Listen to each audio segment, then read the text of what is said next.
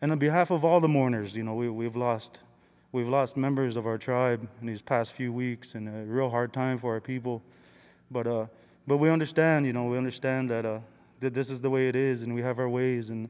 and we're going to continue, you know, the, the way we know how. You know, our ways are real real applicable to, to all parts of life, no matter what time, you're applicable today.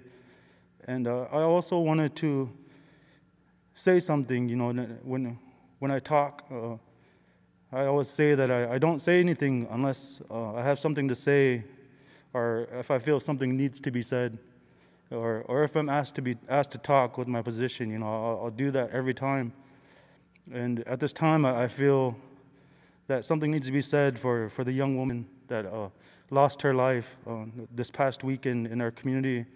Uh, she was a member of ours, you know, she was one of ours, uh, a member of this community.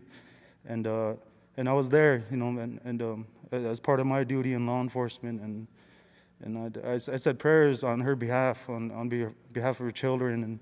and what happened, you know, and, and, and the area, you know. That was the first thing I wanted to do when I arrived. And so, so I tried to take care of that the best way I knew how. And uh, tomorrow, there's going to be a, a, candlelight vigil that's being organized um, by some people, and and uh, you know that, that's real good that, that we, we try to come together and, and understand and and and uh, you know that she had children and that she has family and that, and that there's a lot of people affected by this. So I, I wanted to say something, you know, because I thought something needed to be said. So so I wanted to take care of that, and uh, you know, if maybe if you want to take care, you know, I, myself, I want to I want to take part in that, but maybe I'll do it from home, you know, and, and uh, you know, say some prayers at home and, and light a candle and let, let him know that, uh, that,